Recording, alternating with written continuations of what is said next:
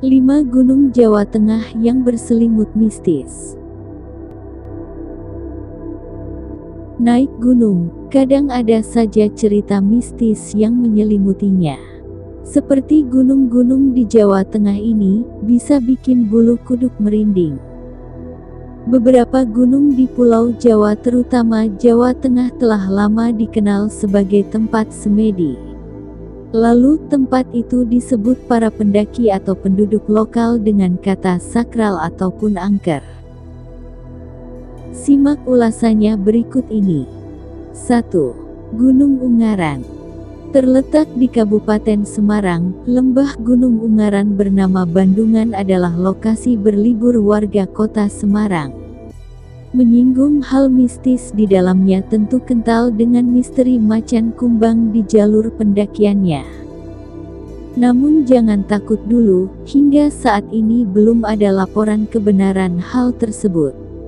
Ketika memasuki hutan di Gunung Ungaran memang sangat sunyi meski dengan kota. Namun, ketika sampai puncaknya Anda akan disuguhi lanskap kota Semarang yang cantik saat malam hari. 2. Gunung Lawu Siapa yang tidak kenal dengan keangkeran Gunung Lawu? Lokasi gunung ini kawasannya beririsan antara Karanganyar, Jawa Tengah dengan Magetan, Jawa Timur. Hal-hal mistis itu dikuatkan dengan kabar bahwa beberapa presiden RI pernah bersemedi di sini. Hawa mistis menyeruak kala sore menyingsing dan gelap menyelimuti gunung ini. Kabut yang mulai turun dengan membawa hawa dingin menambah aroma mistisnya. Terdapat beberapa tempat yang dipasangi dupa ataupun sesajen. Namun, di balik itu semua gunung ini tetap menyajikan pemandangan yang memesona. Lautan awan yang adalah pemandangan yang paling dicari. Percayalah panorama lautan awan di Gunung Lawu sangat indah.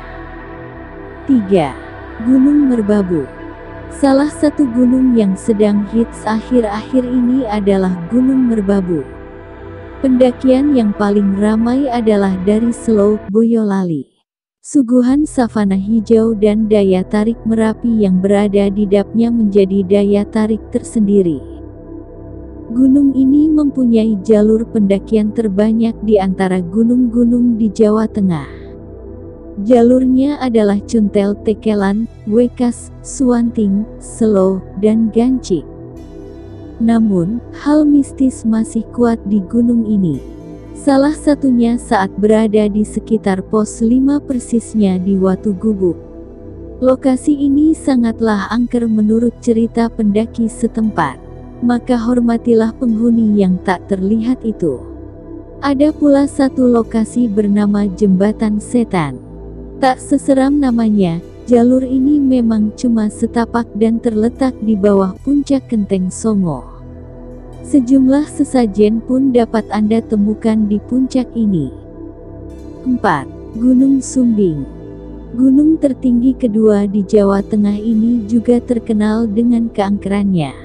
Trek yang dipastikan tanpa adanya yang mendatar dipastikan menguras tenaga para pendaki. Di samping itu, gunung ini terkenal pula angker ketika sampai di Kampestan. Apa itu? Kepanjangannya adalah Peken Setan atau Pasar Setan. Terletak di pos 3, lokasi ini terbilang lapang. Banyak bertebaran botol air mineral di sini, karena para pendaki kebelet kencing dan tidak boleh sembarang maka hal itulah yang malah terjadi. Sebab beberapa kejadian mistis dialami pendaki saat kencing di tempat itu.